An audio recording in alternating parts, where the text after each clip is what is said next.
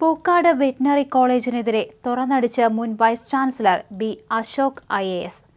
കുത്തഴിഞ്ഞ സംവിധാനങ്ങളാണ് വെറ്റിനറി കോളേജിലെന്ന് ബി അശോക് കുമാർ കുറ്റപ്പെടുത്തി. അധ്യാപകരും വിദ്യാർത്ഥികളും അനധ്യാപകരും തമ്മിലുള്ള കൂട്ടുകെട്ടുകൾ വളർന്ന് അഡ്മിനിസ്ട്രേഷന് നിയന്ത്രണാധികാരം നഷ്ടപ്പെട്ടിരിക്കാം എന്നാണ് അദ്ദേഹം പറയുന്നത്. ഇപ്പോഴത്തെ പ്രശ്നങ്ങളിലേക്ക് നയിച്ചതും അതാകാമെന്നും മുൻ വി സി പറയുന്നു. സിദ്ധാർത്ഥിന്റെ മരണത്തിന്റെ പശ്ചാത്തലത്തിലാണ് ബി അശോക് കുമാർ തുറന്നു പറച്ചിലുമായി രംഗത്ത് വന്നത്.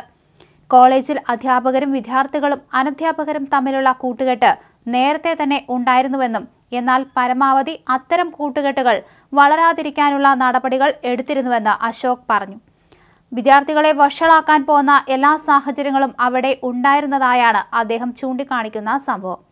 അധ്യാപകർക്കുള്ള ക്വാർട്ടേഴ്സിൽ വിദ്യാർത്ഥികളെ വിളിച്ചുകൂട്ടി മദ്യപിച്ചതിന് അധ്യാപകനെതിരെ നടപടിയെടുക്കേണ്ട സാഹചര്യം ഉണ്ടായിട്ടുണ്ട്.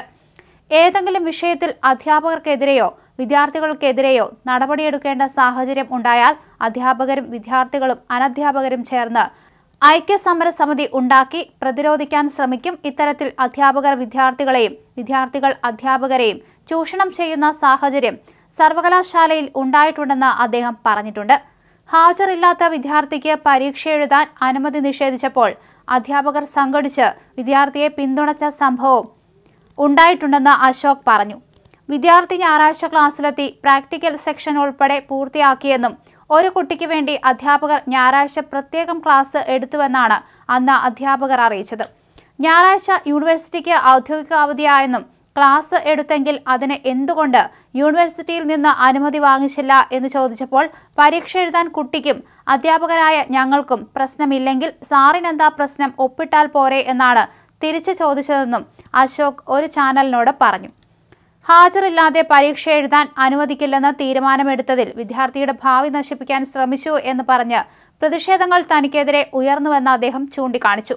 താൻ വി. സി. ആയിരുന്ന കാലത്ത് രാഷ്ട്രീയ സ്വാധീനത്തിലുള്ള നിയമങ്ങൾ ഒഴിവാക്കിയിരുന്നു.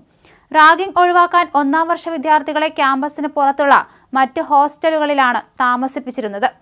അഡ്മിനിസ്ട്രേഷൻ എടുക്കുന്ന തീരുമാനങ്ങളെയും നടപടികളെയും പ്രതിരോധിക്കാൻ അധ്യാപക വിദ്യാർത്ഥി അനധ്യാപക സംഘടനകൾ ഒരുമിച്ച് നീങ്ങുകയും അത് തടയാതിരിക്കുകയും ചെയ്യുമ്പോൾ അഡ്മിനിസ്ട്രേഷന് സ്വാതന്ത്ര്യാധികാരം ഇല്ലാതാവുകയും അത് ഇത്തരം കാര്യങ്ങളിലേക്ക് നയിക്കുകയും ചെയ്യുമെന്ന് അദ്ദേഹം പറയുന്നു. അതിക്രൂരമായ മർദ്ദനത്തിന് ഒടുവിലാണ് സിദ്ധാർത്ഥ് മരിച്ചത്. ഇത്തരം സംഭവങ്ങൾ അധ്യാപകർക്ക് അറിയാമായിരുന്നിട്ടും അത് എന്തുകൊണ്ട് റിപ്പോർട്ട് ചെയ്യപ്പെട്ടില്ലെന്ന ചോദ്യം ഉയർന്നിരുന്നു. ഒരു പെൺകുട്ടിയുടെ പരാതിയുടെ പേര് പറഞ്ഞാണ് നാട്ടിലേക്ക് പോയ സിദ്ധാർത്ഥിനെ ക്യാമ്പസിലേക്ക് തിരിച്ചു വിളിച്ചത്. ഫെബ്രുവരി പതിനാറിന് ക്യാമ്പസിലെ പാറപ്പുറത്തും വാട്ടർ ടാങ്കിനടുത്ത് വച്ചും സിദ്ധാർത്ഥിനെ ഒരു സംഘം ക്രൂരമായി മർദ്ദിക്കുകയായിരുന്നു. സിദ്ധാർത്ഥിന്റെ ഫോൺ കൈവശപ്പെടുത്തിയ സംഘം സിദ്ധാർത്ഥിനെ കോളേജിലെ ഔദ്യോഗിക വാട്സപ്പ് ഗ്രൂപ്പുകളിൽ നിന്ന് പുറത്താക്കുകയും ചെയ്തു. പിന്നീട് വീട്ടിൽ നിന്ന് അമ്മ വിളിച്ചപ്പോൾ മാത്രമാണ് ഫോണിൽ സംസാരിക്കാൻ സിദ്ധാർത്ഥിന് അവസരം നൽകിയത്.